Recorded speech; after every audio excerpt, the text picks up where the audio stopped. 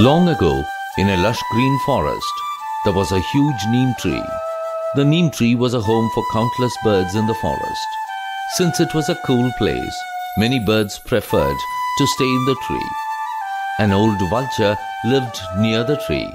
It did not have a nest on its own. He was half blind as he was old. Every day, he used to watch the birds living happily on the neem tree. As he did not have friends, he felt very lonely. One day, a yellow bird was catching the vulture from the neem tree. The bird felt sad seeing the poor vulture. The yellow bird decided to speak with his friends and bring the vulture to the neem tree. One day, he was discussing with the other birds of the tree. Dear friends, I have a request, and I think you will accept. What is that? Have you all seen the vulture in the next tree? Yes, I see him every day. Why is he like that? He is old and half blind. He cannot even search for food.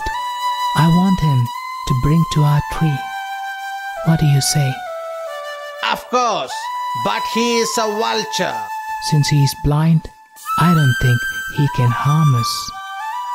All right, let's bring him. Let him stay with us from today. The sparrow, the crow, and other birds joined together and met the vulture. Welcome, dear friends. What has made all of you to come to this tree? I am pleasantly surprised. Dear friend, we are not happy to see you suffering. When we all have good food and good nest, it's very sad to see you in a dry tree, toiling without food. So we have decided to give a nest for you in our tree so that you can enjoy the lovely breeze and have a good company of friends. I am greatly delighted to hear this news. I thank you for your kindness. You can join us from tomorrow. A nest is kept ready for you. Next day, the vulture went to the big neem tree and made his home. He was very happy there. All the birds helped him with fruits and nuts. The vulture was very kind to all the young birds. One day, a cat saw the vulture on the tree. It was a long time wish for the cat to taste the young birds of the tree, but it was not possible for the cat as he was not able to go near the tree. After seeing the vulture, an idea sparkled in its mind. He slowly approached the vulture. Great, sir. I am greatly delighted to see you here. I know you are the largest of the birds. Perhaps I can say you are the king of birds. The vulture was extremely happy to hear this. Thank you.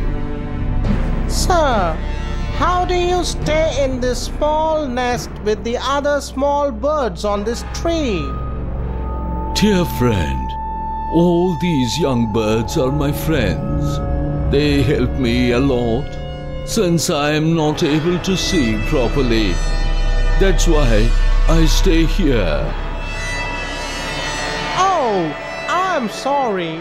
I also want to help you. Let me bring some good meat and fish for you every day. No, no. Don't trouble yourself. I get everything here. Sir, you are a powerful bird. You will certainly need meat. What these birds are going to get for you? They can get you only fruits and nuts. Dear friend, I am happy about your concern, but I don't want anything now. I will come and meet you tomorrow. The next day, the cat came to the tree and handed over a small fish to the vulture. It had a nice time chatting with the vulture. The crow, who had accidentally returned that afternoon, saw the cat chatting up with the vulture.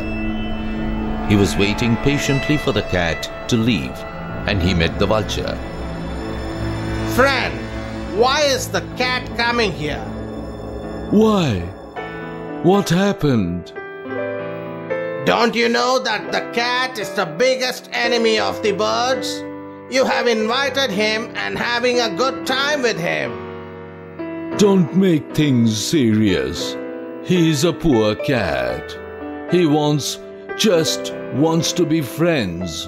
That's why he has come to me. He is very cunning. Better keep him away.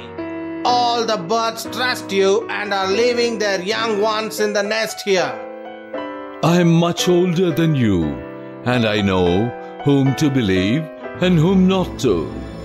The crow left the place. The cat started coming regularly to meet the vulture. After a week's time, the cat killed one of the young birds, ate him, and threw the bones in the nest of the vulture. In a few days, it ate around four to five birds. All the birds were shocked, but they were not able to find the culprit. On searching, one of the birds found some bones in the vulture's nest. The bones of our young ones are in the vulture's nest. The birds came rushing to the nest of the vulture. The vulture was not able to see properly and so did not see the bones in the nest. Vulture, we trusted you so much, but you have shown your true colors. You should not be in the forest for another minute. Get away from here. Go away right now. Dear friends, I did not do anything. Please don't drive me from here.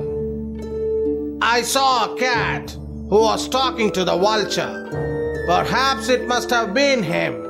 Please leave the vulture. You keep quiet. The bones are here. So he is the culprit. The birds drove away the vulture from the nest. The vulture was helpless and was in tears. Wrong friendship will always lead to bad things in life. The lion got hurt while fighting with an elephant, so he was not able to go out and hunt for food.